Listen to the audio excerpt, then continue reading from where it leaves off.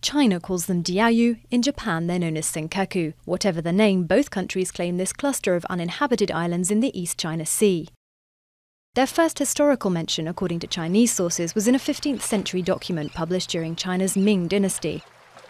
In 1895, Japan annexed the islands, later leasing them to a Japanese who set up a fish processing plant there, but by the start of the Second World War, the islands were deserted once again. Years later, in 1969, a United Nations report suggested the seabed around the islands could be rich in oil reserves. Both China and Taiwan promptly declared ownership in 1971, but a year later the islands were returned to Japan after years of US occupation. Although they've since been formally controlled by Tokyo, Chinese ships are regularly seen sailing close by. And activists from China and Japan have landed on the disputed territory to raise their national flag.